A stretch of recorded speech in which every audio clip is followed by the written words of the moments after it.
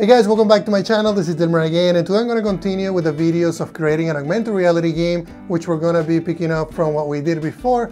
On the previous video, I showed you how to create a simple racing controller where we have, you know, a plane. We were able to control the car, the acceleration, rotation. In this video, I'm going to be converting that to AR. So we're going to start adding augmented reality components by using AR Foundation. I'm also going to show you how to add some of the plugins. I'm going to show you what you see playing behind the scenes, which is the results of what we're to be doing today. I'm really excited about it. It actually turned out to be and look a lot better than I thought it was to be. So let's jump into Unity and start working on it. All right guys, so welcome to part two of this video series on creating an augmented reality game. So what I'm to start doing is we're going to be resizing our car right here because right now if I were to to hit play everything is sized for you know mobile a mobile game a normal mobile game but if we need to do, you know, augmented reality, we need to change the scaling of, of the car. So just wanted to hit play just so you know what's, you know, what we did for the previous video. We also added the overlay controls here so I can accelerate, I can also turn. And if I have time by the end of the video, I'm going to add another button here so that we can actually reverse. So the first thing that I'm going to start with is, like I said, we're going to be resizing this because we're going to be dealing with AR and it's going to be meters. So I'm going to create a new scene and we're going to call it the main game AR. And that way we can, we, we can leave the other one just as a reference. I'm also going to go to File and, and, and then basically just add that scene, then remove these. I'm going to go step by step. It's going to take more time, but I think it's going to be helpful for everyone that wants to learn how this is going to be set up if you have to create your own games. So what I'm going to do as well is I want to duplicate the prefab. I don't want to change the original one. So I'm just going to go ahead and duplicate it, and then going to be just car AR. And then what I'll do, I'll just drag it and drop it, you know, right next to this one. And it's going to make all sense as soon as I, you know, we get done with this video. And then if I go here, I this has a rigid body, a car controller. It's not recommended that you change the scale of, of the, the component that has a rigid body. So what I'm going to do is I'm going to create a new empty game object. This one is going to be called AR object. And then what I'll do, I'll just drag and drop this. We also don't need all these ramps. I can just get rid of those ramps for now. And then I'll just move my AR object right here. And I'll just make sure that everything is at 0, 0, 0. Remember, make sure that everything is clean and you don't have any weird transforms. And because when it comes to AR, it's just so small on the units because we're dealing with meters that every slight, you know, incorrect changes on X, Y, or Z or the scaling is going to make it look really, really obvious. So now that we have that, what I'm going to do is I'm going to drag and drop this component here. And now we should have the AR object as a, basically as a prefab. All right, so the next thing that I have to do is, okay, now that I have that size correctly, I'm actually going to be resizing the AR object and then just do 0.1, 0.1, 0.1. And yeah, it's going to be a little, a little car and that's fine. We'll just move this up a little bit. And let me go ahead and move the car up here, get closer. Just make sure that I'm that I am in contact with the with the actual plane, in our case is going to be the the ground. All right, so I think that looks good. I'm also going to let's go ahead and resize the gizmos a little bit so they're not giant. They they look giant because we're dealing with you know such a small size. And then on the main camera, what I'm gonna do is let's go ahead and get closer because I want to be able to test it. Let's do 0.7. And then perhaps we can actually move the camera so that we're right on the center by the car. There we go. The car is in the center, and then we have more. Let's actually do a little bit more, something like that, and then I'll just offset it on X as well. I'll do 8.35 there, and then we'll do the same thing on the Z, and then we can leave this one as it is. All right, so if we were to play this, it's going to it's going to actually go way too fast because we have the same yeah, and things are just not not responding the same way that that they were before. Actually, they're not that bad, but I think what I'm gonna do is I'm going to be changing, let's change some of the properties in here. So I'm gonna go into the car and the speed, I'm gonna change it to 25. This is something that I already tested with. And the other thing that I also noticed is I had a box collider in here on the actual car AR component. We don't need that. I'm actually going to be removing this. So let's go into the prefab itself to make those changes. just to make sure that we have, that one, that was the collider that is here on the bottom. I thought it was going to help the car for, you know, from actually tilting, and it actually makes it work. So we can remove that piece. And also on the on the car AR, you're gonna change the speed to B25. The torque I think is way too high as well. It's 230. And then if we go to the body, I'm just gonna go ahead and check a couple things in here. I think those are fine. Then on the wheels, let's make a couple more changes on the wheels. And we're gonna go into the tire, tire, tire, and then tire. So we're gonna be selecting basically all of those different components. And I just get a couple values in here. This one is okay. The damping value, I think I set this one to 5 before. The force at point distance, we're going to be changing that to 0.1. And then spring, damper, target position, those are okay. The forward friction, I'm going to be incrementing this because I don't want the car to be, you know, slipping as much. Let's go ahead and just, I'm just going to be putting values that I already tested with. It's going to be 5. And then on the sideways, which is going to, you know, it's going to be the friction if the car is going in this direction. We're also going to be incrementing some of these values, so just do 1, 1, 1 there. Stiffness, I'm going to be doing 0.5. And if everything works, these values should be, should be good. And the other thing that I can also do is, I think those are fine. Okay, so let's go back and let's make sure that the values were all already set. There we go, looks like they're all set. So I'm gonna go ahead and hit play and see if this looks better. And we go. We just get, then we got some, some cool movement in there. And there we go. Okay, let me check a couple of the tires just to make sure. So that one has a wheel collider. And okay, there, there here it is. And in some of these tires, I had a sphere collider. So what I'm gonna do is, let's go ahead and remove it here. And then I'll just do, we'll do the same thing. Let's go ahead and go inside here. Make sure that we don't have a sphere collider. In fact, this one doesn't have the wheel collider that we need. And I'm just gonna, gonna go ahead and copy it. Let's go into this guy.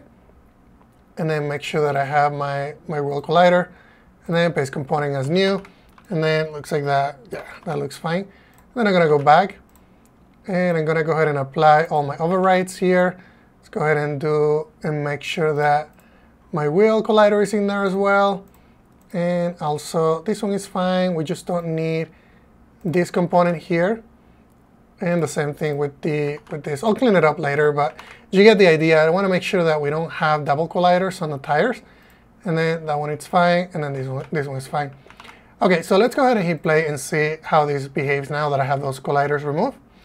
And we're gonna get a little bit of shaking, and I don't know why that is, but, but that's okay. The, the other thing that I'll do is let's go ahead and go here and I think I'm gonna in, in decrease this to 20. And let's hit play and see how this, I like the shaking actually because it looks like the car is, is on and running. So I think this is fine for what we need for AR. So we can just tweak it and polish it later. Okay, so now that I have that, I think we're okay with, you know, with the car, with the car as it is.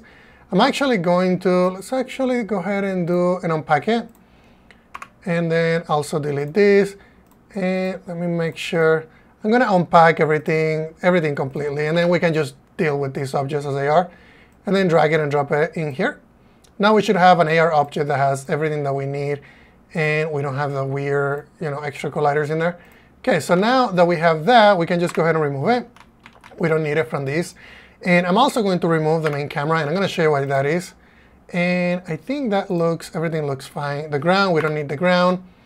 And the, the reason why we need to remove all that is because we're going to start adding some of the AR components. So I'm gonna go into the package manager here, and we're gonna start with AR Foundation. So let's search for that and change this to re registry. And then if we expand this one, we're gonna be using version eh, 4.11. Go ahead and hit install. We'll wait until this completes installing. All right, so it looks like AR Foundation is installed. So now what I'm gonna do is we're gonna be supporting ARKit and ARCore.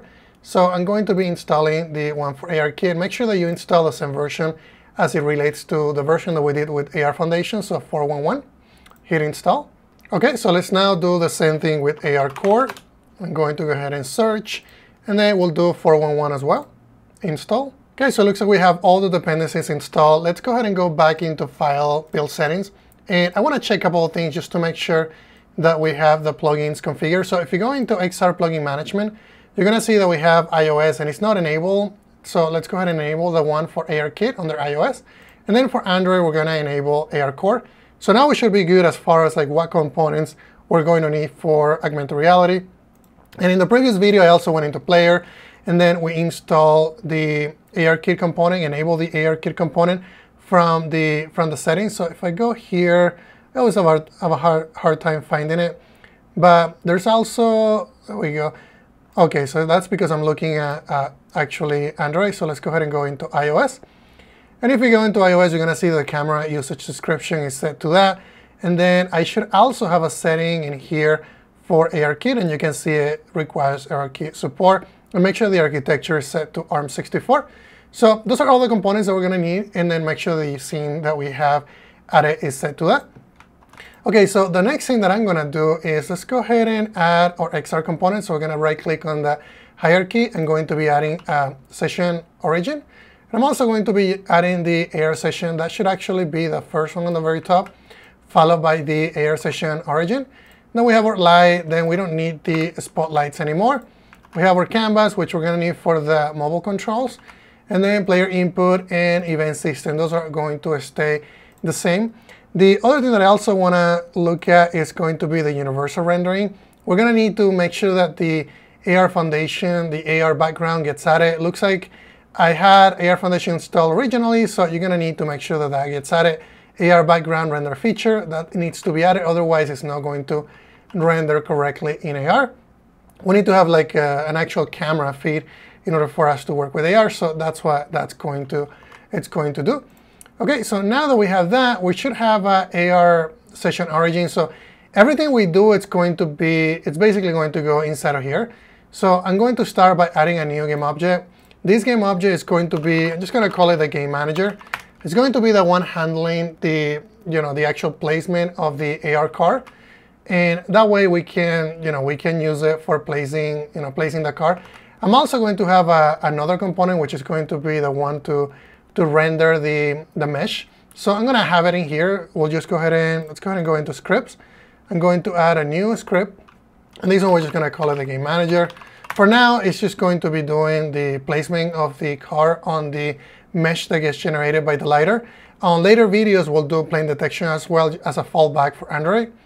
Okay, so now that we have that, I'm going to go here into my game manager and then drag and drop my script. I'm also going to be adding the AR mesh manager. This is going to be used for the LiDAR. And then in here, we're just going to be adding a cube. And this cube is going to be, it's actually going to be used by the LiDAR to generate the mesh. So, but the difference between that is that we're not going to need the actual the actual mesh because LiDAR is going to generate it. So just going to remove it. I'm also going to remove this collider and we're going to replace it by using a mesh collider. This is going to be the one that the LiDAR is going to be using and we need it because we need the car to collide with it. Okay, so then the next thing, I'll just go ahead and set everything. Remember, everything's set to zero. That's a good practice. I'm also going to be adding a a, uh, an actual layer. And this one's going to be, I'm going to call it AR Mesh LiDAR. Let's go ahead and do that. And this is going to be used when we do a raycast on the, you know, when we touch the screen, we do a raycast on the mesh that got generated by the LiDAR. This is going to be the only thing that I want to do a raycast against and detect. So that's why we have that. And then this one, we're just going to go ahead and assign it. And we can just rename this to be AR Mesh LiDAR as well. It doesn't really matter. You can call it LiDAR mesh or anything that you know makes sense to you. And then I think that's everything that we need there. I think I'm going to add a different material. And let's go ahead and go into materials here and then create a new material. And then we can just call this one is going to be the mesh LiDAR. And then we can just drag it and drop it into our game object here. And then we should have, you know, we should have that created in there. And then this one, I'm going to make it, I want to simulate that this is going to be a row, right? So we can just set it to like, uh, I think a light gray should be fine. And I think that's fine. Okay, let me just create quickly just a sphere so we can see how that it's going to look. I'm just gonna go ahead and drag it and drop it. And I think that looks fine. Specular highlights, we can disable, can also disable that. Okay, so I think that's the gray that I was looking for. Okay, so we can just remove it from here, and then this is gonna be the one that it's going to be used. So what I'll do, let's go into prefabs and then drag and drop this. I think we're good with that object. We can remove it. And then we're going to go back into the game manager and then associate our mesh prefab. The density here, I'm going to crank it up to 1 because I want this mesh manager to generate a lot of tessellation on the mesh that get generated. So higher the number, the you know the more details that we'll have. And it says in here, if you look at that description. Okay, so I think that's everything. We're just gonna do normals. We won't do any of those. And I think those are good to go. All right, so we're gonna need to actually implement the game manager. So I'm gonna go ahead and open up the script so that we can start working on that. And we're also going to be adding a prefab. The prefab that we're gonna be adding is the AR mesh the, the actual AR card that we, that we created. So let's wait until Visual Studio opens up. All right, so here's the game manager script that we're going to be implementing. I'm actually going to be removing, let's remove everything in here. We're gonna, we're gonna start with the serializable fields that we're gonna need. So we're gonna need a game object. It's gonna be the game object that we're going to be placing. So it's gonna do game object. This is gonna be our card prefab. We're gonna just call it prefab, I think that's fine. then we're also gonna need a reference to the camera because we're gonna be doing some conversion from a touch point on the screen to actually get a rate. So we're going to do private and then we'll just do camera and then we can just call it AR camera.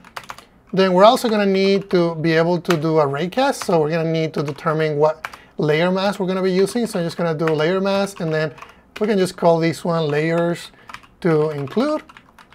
Perfect. And then we're also going to need access to the the game, the car controller, and I'm going to show you why I need access to that. So car controller, we're actually going to have to change how the car controller works because currently it's a singleton, and the way that we're going to be setting things up, that's not going to work. So I'll just show you how that works. Then I'm also going to be doing the awake method here. And we're going to be using something different that I haven't used in the past, and it's called enhance touch support because we're using the new version of the input system. So let's go ahead and bring in that. And this is going to allow us to basically do what we used to do with the input that get touches. So I'm just going to go ahead and enable it and make sure that you call the right method. It's going to be called the enable. Okay, so then the next thing that I'm going to do is we need to implement the update method, which is going to be a little bit lengthy, but it's not going to be that bad. So we're just going to do update here. In the update, we're going to be getting the active touches. And I'll just say Unity Engine, the input system, enhance touch, touch, and then active touches. So this is going to give us all the active touches, just like the get you know touches method used to do. And then I'm going to say active touches that count is greater than zero. If we're touching the screen, then you know the count should be definitely greater than zero. I'm also going to be just getting the touch. Then I'm going to get the first, basically the first touch. That's all we need. Then bool, and then there's going to be a thing here that I'm going to be checking for. It's called the the is point over UI object. I use that a lot because if if if I'm touching on a UI component, I don't want to really be detecting and actually placing the car at that point. So I'll just show you how that works. I'm just going to do a screen position. And then it's called is point over UI object. Okay, so we're gonna have to be bringing in the actual meta, and I already copied it, so I'm just gonna go ahead and I already copied it to the clipboard. So I'm gonna go back into Unity, and then we can create a new folder here. I don't want to implement it because I already did that in a previous video, so we'll just go ahead and add a new folder, and I'm gonna call it extensions, and then in here I'll just go ahead and paste the script, and we'll just rename it here in a minute. We'll just go ahead and open it up. And I'll just paste it. And it's called the block UI extensions. And what it allows you to do is if I'm basically clicking in here, it's not going to actually you know, do a raycast anything beneath it. So it's going to block the any, any UI, any raycast when a UI is selected. Okay, so let's go ahead and hit save so we have the new name. Perfect. Let's go ahead and go back in here. So now this should be this should be working. Okay, so what we need to do now is we actually need to do the implementation of the of the raycast. So the first thing that I want to do before we keep going is I want to make sure that if I'm over a UI, we don't we don't actually don't do anything else. So I'm just going to go ahead and return. That's what that was for. And then I'm going to be using my new touch input system, and I'm going to check, okay, if the face is actually begin. That's the only time that I'm going to be placing the car, so I'm just going to go ahead and do it in begin. And if we begin touching the screen, then this is where we actually need to do the ray. So I'm just going to go ahead and do get my ray here. I need to use my camera. I need to convert the screen point to an actual ray. So I'm going to be using touch, and it's not position anymore. Now this is called screen position, which is it's actually pretty cool.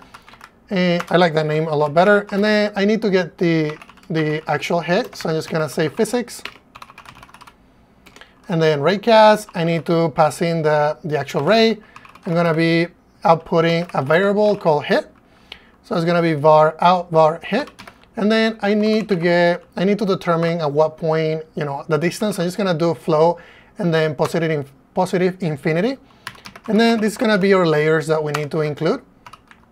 So this, if, if we're hitting a mesh, this should actually be, you know, return true. If, if we're not hitting a mesh, it's going to return false.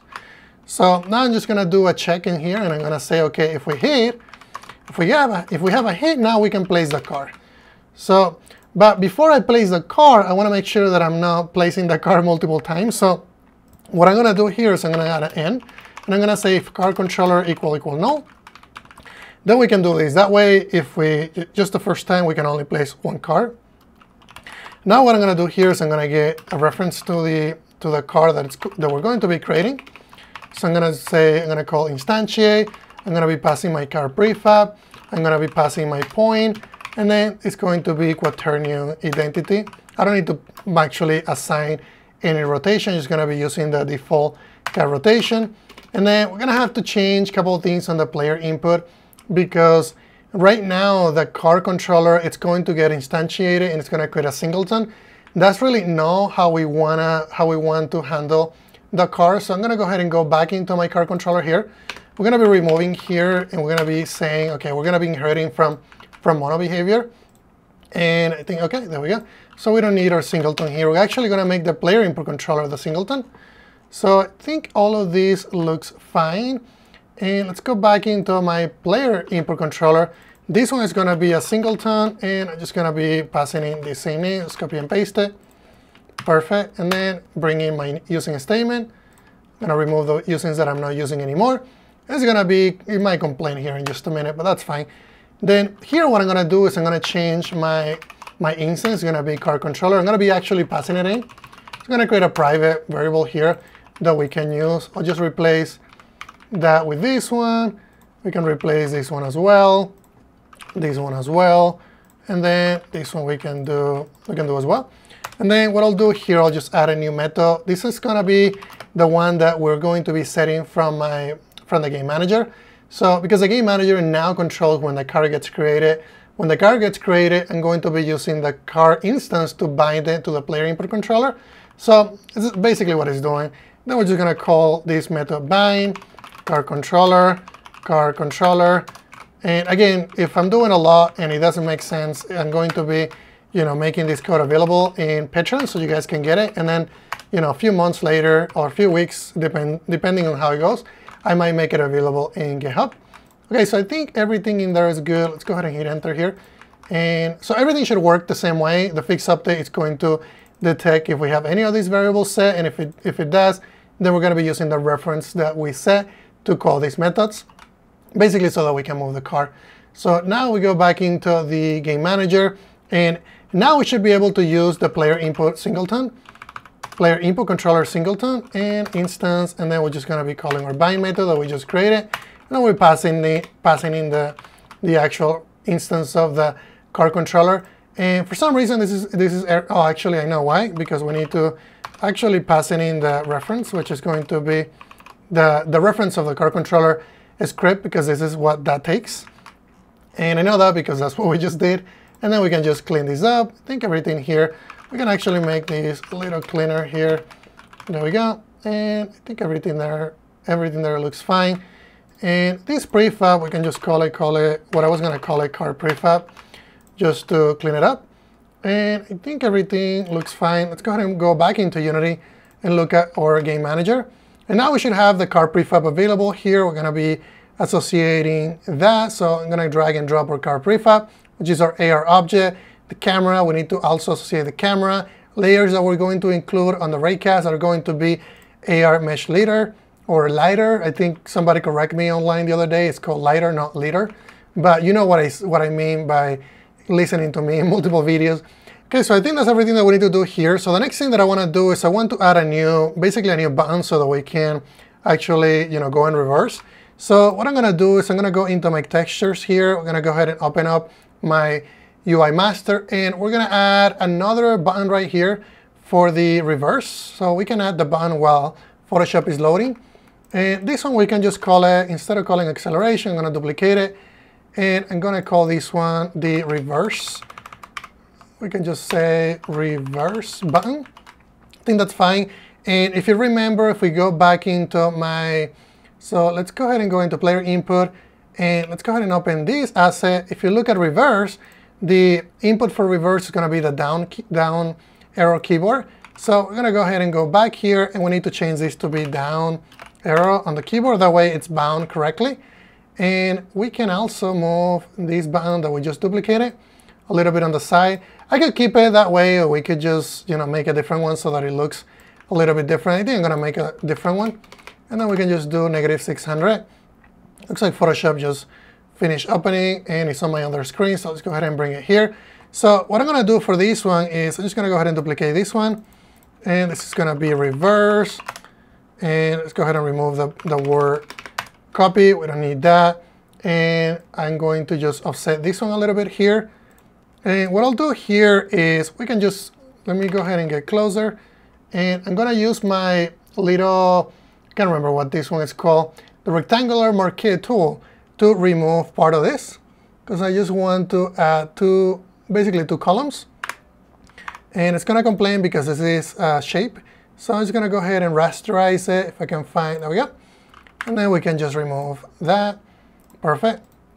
So now on the actual rec, though I want to resize it because I think it's, it's going to be too big. There we go. So that actually looks more like an accelerator than than the reverse, but you get the idea. So we can close out of this.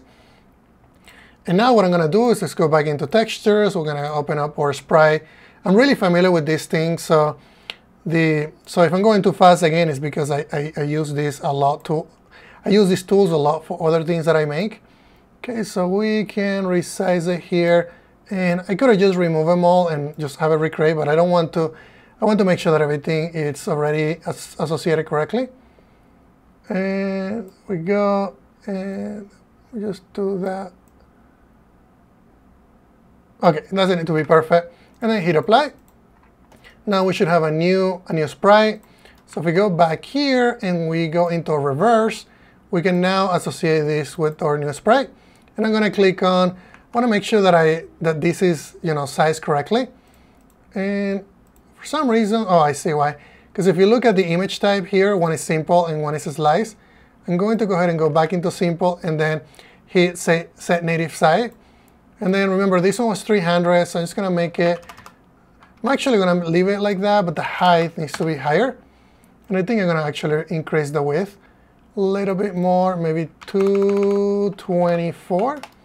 Perfect. And let me go ahead and go into my scene view here so that we can we can put it right next to this one. And I think that looks fine. So now we had we're gonna have the left and the right to turn left and right. This is gonna this is gonna be for our reverse, and this is gonna be for our accelerator. So I think I'm going to I think I'm going to call it good. I don't need to do anything else in here. Accelerate is fine. And then we'll go into File, Build Settings, and then we'll just go ahead and build it. So I'll just show you as soon as this is done building. Alright guys, so I got this built to my device, so I want to show you the results. So I'm going to go ahead and hit play. And I'm basically using the iPhone 12 Pro. You can see that it has the LiDAR functionality. And I'm going to keep scanning the room.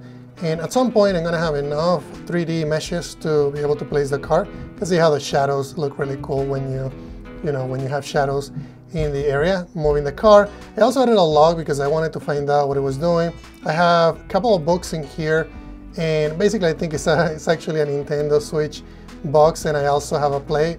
So I just wanted to see how those were generated if I get closer. You can see how you know the car is bouncing and I need to improve the physics on the car but this basically covers what I wanted to show you. It's basically built a car. And on the next video, what I'm gonna do is I'm going to start adding more functionality to this. We're gonna be adding multiple targets. I'm gonna be uh, adding, you know, reticles so that we actually know where we're gonna be placing the car, restarting the scene, and other features that I want to add to this video. So it's everything that I wanted to show you guys. If you guys have any questions, please let me know.